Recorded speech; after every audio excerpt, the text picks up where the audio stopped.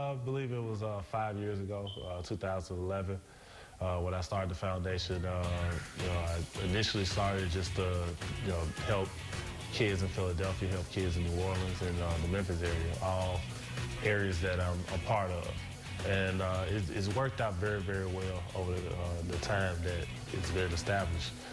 We've had back to school drives, we've done you know, things where we're you know, feeding the homeless. We've also started this thing called Thaddeclaus, you know, where we, uh, we give gifts and presents to kids and, and uh, uh, different people who, who, are unfor- who, who are not fortunate enough to, to get those type of things.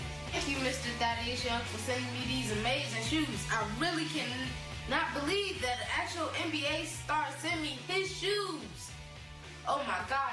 And thank you also to Mrs. Young We'll continue to work on different things and uh, try to put different programs in, in, in Memphis right now.